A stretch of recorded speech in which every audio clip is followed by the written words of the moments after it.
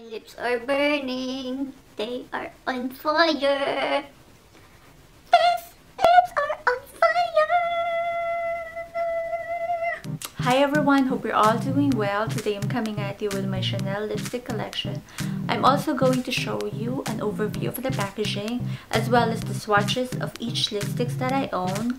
I have 9 Rouge Allure Velvet in my collection. It is the matte formulation lipstick from Chanel. This is the packaging. It is a shiny all black with white Chanel written at the bottom here's the CC logo and you open it like so and then there's the lipstick it also have the Chanel stamp on the lipstick itself to prep my lips I have the Pure Lip Maximizer it is to moisturize and to plump up my non-existent top lip.